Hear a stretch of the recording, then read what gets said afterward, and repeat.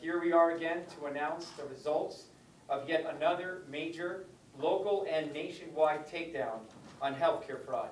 And we're doing it right here from Miami, which remains ground zero for these types of schemes. Now, as I stated, we are here to talk about a coordinated national takedown on healthcare fraud.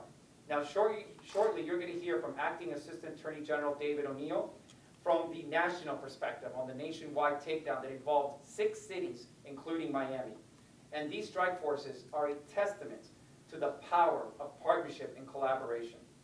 Now, nationwide, a total of 90 individuals were charged in 48 separate cases for healthcare fraud uh, related offenses and totaled approximately $260 uh, million in fraudulent billing. Now here, as you've come to expect, here in South Florida, more than half of the defendants and half of the cases are right here from South Florida.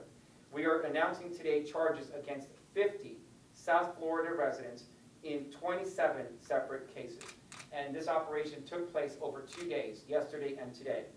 Those charged here in South Florida include a doctor, therapists, nurses, licensed pharmacy techs, a social worker, Medicare beneficiaries, money launderers, patient recruiters, clinic, home health agency, and pharmacy owners, and office workers, including the chief operating officer of Hollywood Pavilion.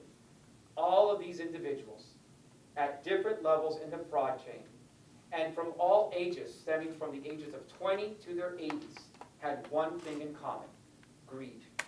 They each tried to use the Medicare program as their own personal ATM machine and to line their pockets with our money and to supplement their income.